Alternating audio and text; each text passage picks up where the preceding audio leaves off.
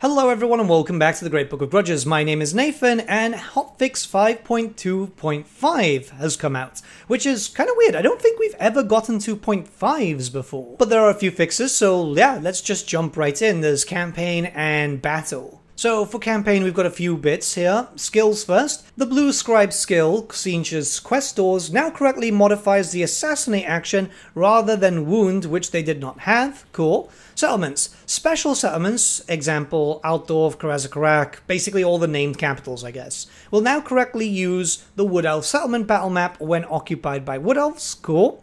Uh, environment. Fixed an issue where the edges of the Great Canal South Cathay appear jagged. The canal should now display smoothly. Okay, so.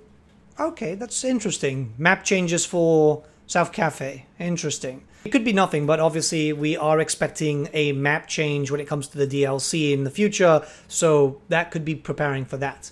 Uh, fixed an issue in the Lost Valley, where building assets for a landmark near the building of Oxil were visible despite being covered by the fog of war. Okay. And text localization fixed an issue where the Korean translation of livery was incorrect, displayed a symbol, it's now been corrected to Horse House, and fixed an issue where Lord's name in visions of the Old One's mission panel was not localized. Okay. I mean, that's not too bad. Alright, and now the bigger changes are coming in with battle. The AI has been improved in choke point battles to prioritize moving swiftly through choke points when under fire, rather than reforming or trying to cross while in formation. This enhancement increases the overall challenge and reduces the dominance of artillery and range units in these scenarios. Okay, this is good. Okay, that's actually really, really good. So, for those of you who haven't really been seeing a lot of choke battles, because they're just very rare in Warhammer 3 when compared to Warhammer 2, uh, yeah, they would just stay in formation all the time walk up to the point where the choke point is and then break in.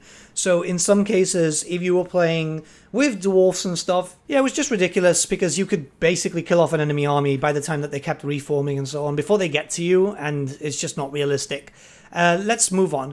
Fixed disabled AI skirmish mode for isolated units. It will now be disabled only when it is clear that the unit will lose, preventing unnecessary prolongation of the battle. So enemies will skirmish less if they know that they're going to lose near the end and stuff, I'm imagining. Ultimately, this should be a good thing because there have been cases where I've been chasing around a skirmish unit where most of the other army is dead, but still I'm chasing this one specifically and it's just it's just not ending. It's just super weird. So it's good to see. You know, the AI fixes are always quite good. And then finally, we've got for AI fixed an issue where AI controlled units were moving chaotically in some quest battles while incorrectly waiting for reinforcements. Yeah, this is a weird thing where the formation just kept breaking and reforming and then breaking again. Let's move on to environment. We've asked the flying trees in the Dwarf Mountains to calm down, thereby resolving an issue with them floating above the ground during battles. There's a few maps like that, it's super weird.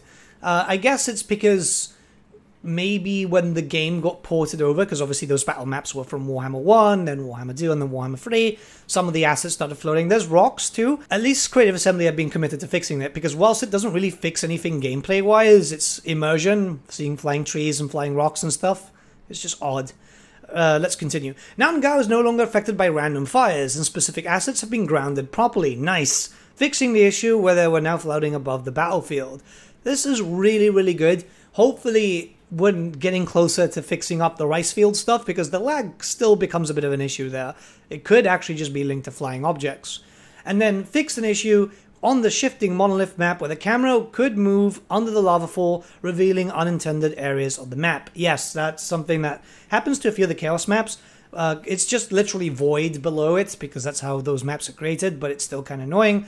And then units. Fix black spots on the Chaos Sorcerers caused by transparency maps being turned off at different levels of detail. Uh, fixed an issue where the parts of the Marauders of Khorne armor would disappear during LOD errors. Yes, that's something that is really, really weird. And finally, fix the visual issue with the inner walls of the cabins on the Thunder Barge and the Spirit Gate. Doesn't say what it is, but hey, you know, I mean, at the end of the day, it's it's not supposed to be a big thing. These hot fixes are getting smaller, but it can be imagined that they're so busy working on 5.3 that yeah, they're just not putting too much into the fix other than fixing issues which are annoying or need to be fixed right away. I think that's perfectly fine. Good to see commitment to making sure that they're consistent, and that's a big thing, especially with how things were last year. So, yeah, let me know what you guys think in the comments below. Let's start a bit of discussion, and I'll see you all again very, very soon, guys. Have a great day.